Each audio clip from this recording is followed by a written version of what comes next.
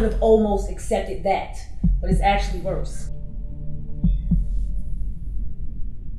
No one could find me. I was I wasn't eating. I was paranoid. I almost I was near death.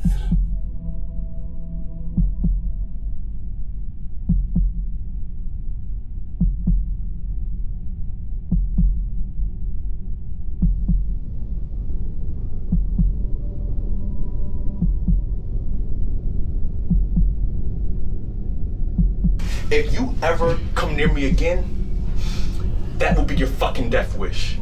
Do I make myself clear? Did he tell you how he fucking drugged me?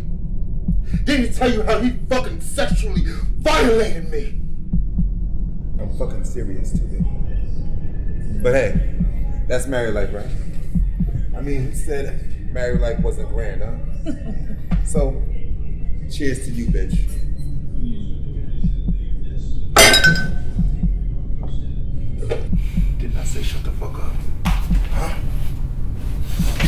Playing, Winston? fucking end you right now. You don't have the fucking balls. No? How does that feel, Winston? Fuck feel. You. Fuck me. Mm-hmm. Fuck me. I should actually fuck you, Winston.